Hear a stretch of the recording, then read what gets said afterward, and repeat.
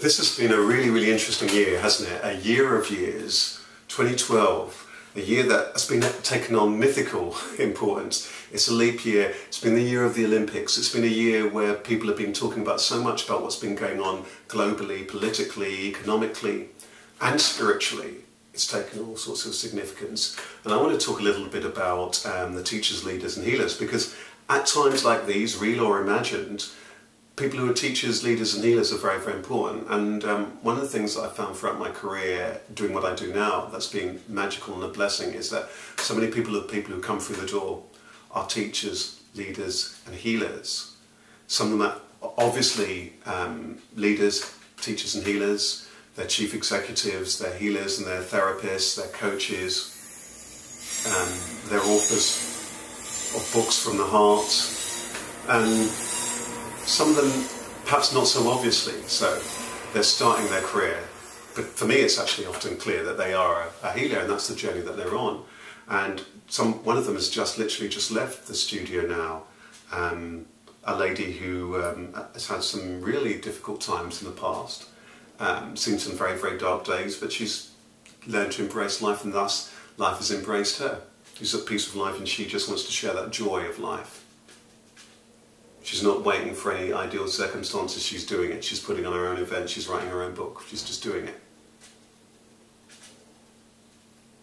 Same thing for a lady I was coaching over the weekend. She's employed, she's been employed for a long period of time, but she realises now that now is the time for her to do what she's always been about and to run programs for some of those people who are most vulnerable. So now is this time. You know, a saying came to me uh, a while ago, which was that um, in order for the healing in the world that we want to see to take place, if you perceive that there's healing that does need to take place, then the healers must take their place. But first of all, the healers must do their healing. One thing that's been beautiful that I've observed over the last five or so years in this work, particularly, is that um, so many of the healers, now and particularly recently, have done their healing and now they're beginning to take their place. What's been nice about the last two people I talked about, that they're women, it's quite good to see also lots of women out there and doing this work um, and, and visibly doing this work.